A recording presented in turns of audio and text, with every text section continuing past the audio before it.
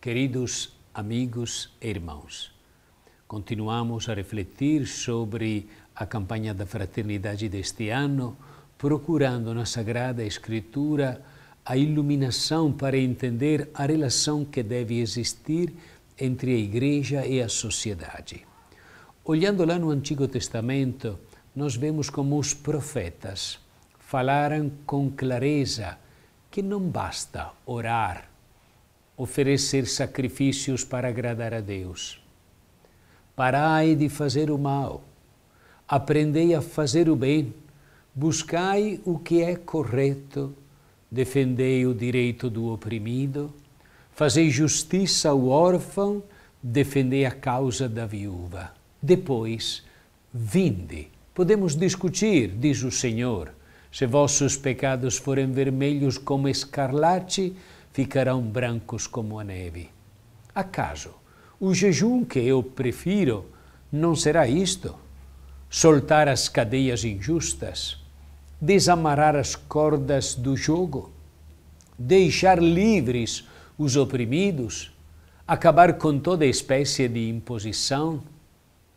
Já te foi indicado, ó homem, o que é bom o que o Senhor exige de ti é só praticar o direito, amar a misericórdia e caminhar humildemente com o teu Deus.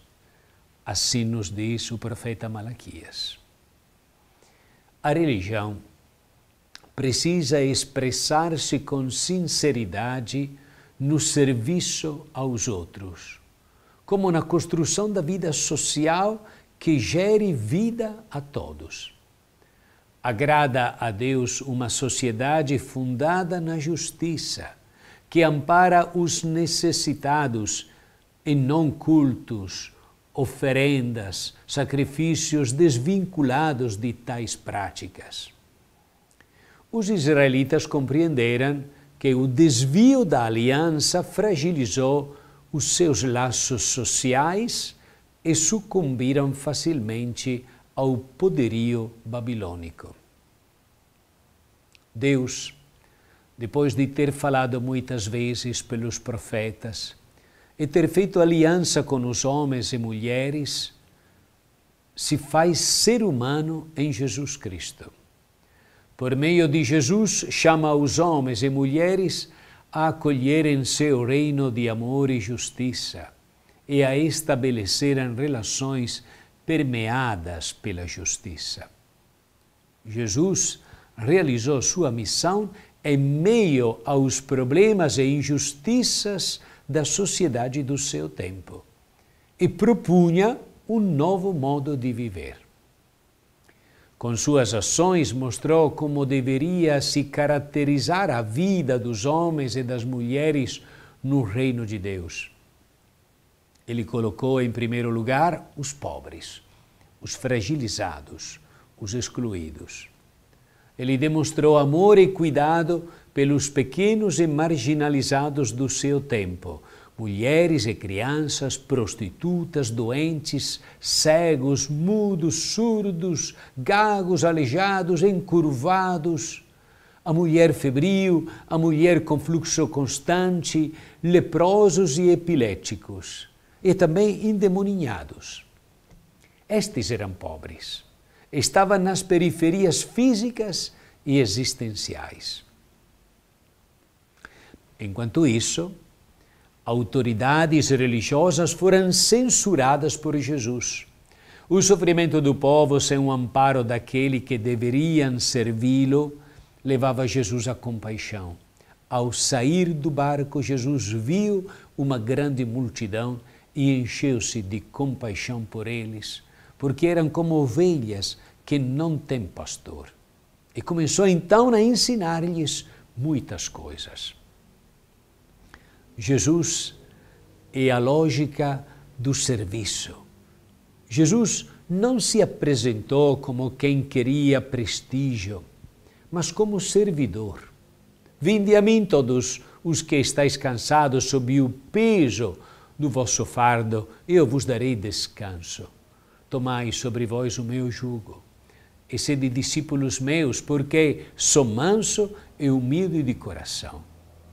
E ele valorizou os humildes. Eu te louvo, Pai, Senhor do céu e da terra, porque escondestes estas coisas aos sábios e entendidos e as revelastes aos pequeninos. Assim se expressou nas bem-aventuranças. Bem-aventurados os pobres em espírito, porque deles é o reino dos céus.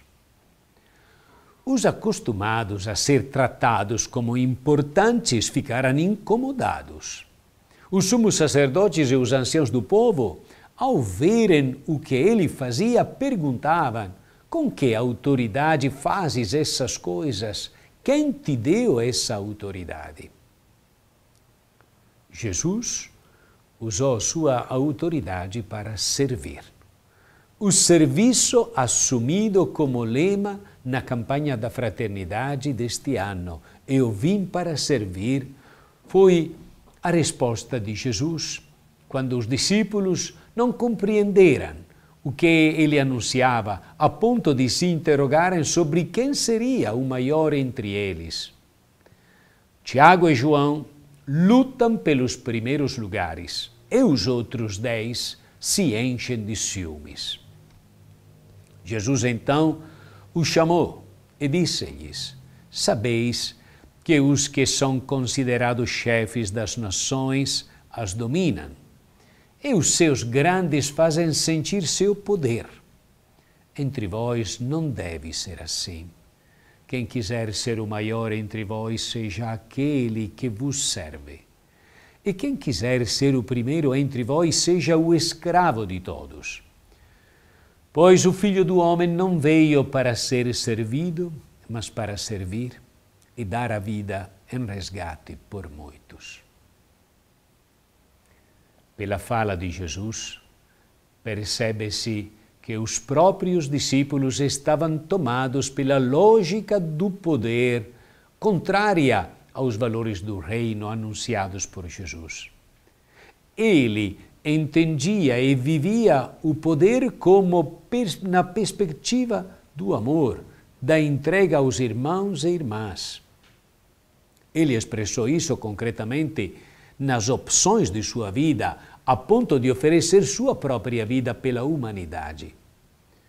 Quando Jesus fez esse anúncio, Pedro não entendeu e ousou censurá-lo. Deus não permita tal coisa, Senhor, que isto nunca te aconteça. Jesus apontou outra direção, mostrando que o discípulo necessariamente deve seguir o Mestre. E o seguimento conduz à generosa entrega da vida em favor dos outros. O serviço, nós o vemos expresso na última ceia, quando o evangelista apresenta o gesto do lava-pés. Durante a ceia, Pedro não queria permitir a Jesus lhe lavar os pés. Pedro disse: Tu não me lavarás os pés nunca. Mas Jesus respondeu: Se eu não te lavar, não terás parte comigo. Simão Pedro reagiu desta maneira porque considerava o mestre muito importante para aquela função reservada aos de menor importância em uma casa. Para assumir a missão de Jesus, o discípulo precisa estar tomado pelo espírito de serviço. Se alguém quer vir após mim, renuncie a si mesmo, tome a sua cruz e siga-me pois quem quiser salvar a sua vida a perderá. Mas quem perder sua vida por causa de mim e do Evangelho a salvará. Essa lógica do serviço coloca a religião como instrumento de construção de uma nova sociedade. É isso que a campanha da fraternidade quer nos ensinar, que nós possamos aprender de verdade. E que Deus abençoe a todos, em nome do Pai e do Figlio e do Espírito Santo. Amém.